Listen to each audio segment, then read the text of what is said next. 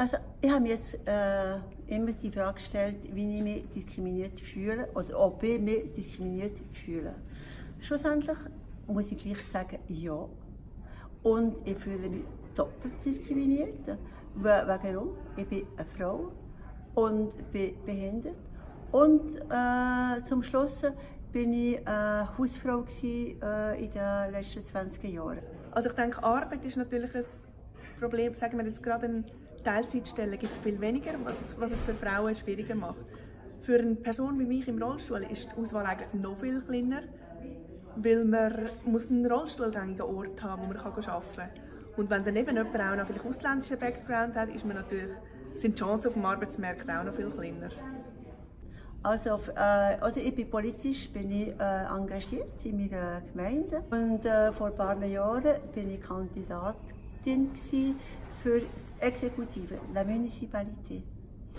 Und also da ist also wirklich immer die Frage äh, gekommen, ja, aber die, wie werdet ihr das machen?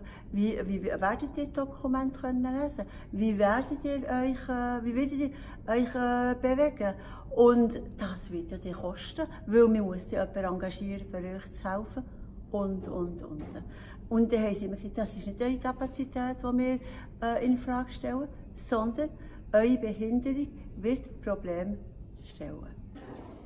Verbessern sollte man erstens mal halt alle auch Benachteiligungen finanzieller Art, sei das mit Lohngleichheit, mit auch sozialversicherungsrechtlichen Unterschieden, was es teilweise halt noch gibt.